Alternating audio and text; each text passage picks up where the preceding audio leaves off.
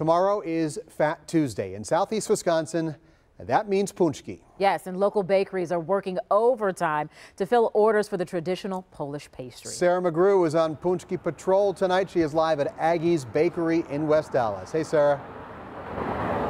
Hey, you can see these shelves in the windows here behind me at Aggie's Bakery are filled with hundreds of paczki pre-orders for Fat Tuesday. But don't worry if you didn't get your order in ahead of time. The bakery says that they make sure to have plenty for you to buy day of as well, but you might want to get here early.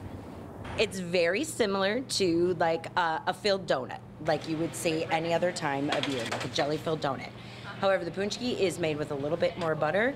It's made, it's a little bit more richer and it's a little bit more um, full in flavor. The sticky sweet aroma of a favorite Wisconsin tradition fills every corner of Aggie's the night before Fat Tuesday. I need two lemon. Grab me one lemon. Every year during Fat Tuesday, we are in a frenzy trying to get everything together. It's a traditional treat on the day before 40 days of fasting and sacrifice, known to many Christians as Lent.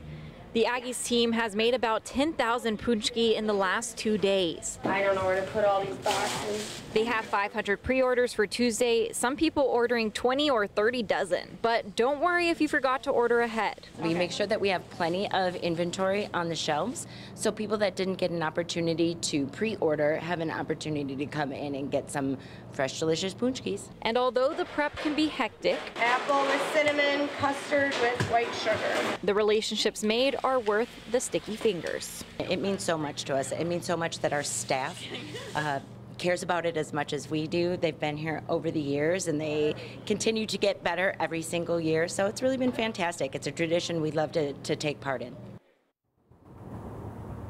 And another option for your paczki pickup tomorrow, they actually have a drive-through here behind the building at Aggie's right off of 73rd. You can pick up a random selection of six for just $9 and the store opens tomorrow at 6 a.m. Live in West Allis, Sarah McGrew, TMJ4 News.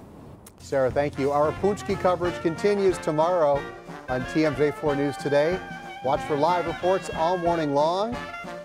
That sounds like a New Orleans band right there from Mardi Gras. Again, 4.30 in the morning, TMJ4 News Today.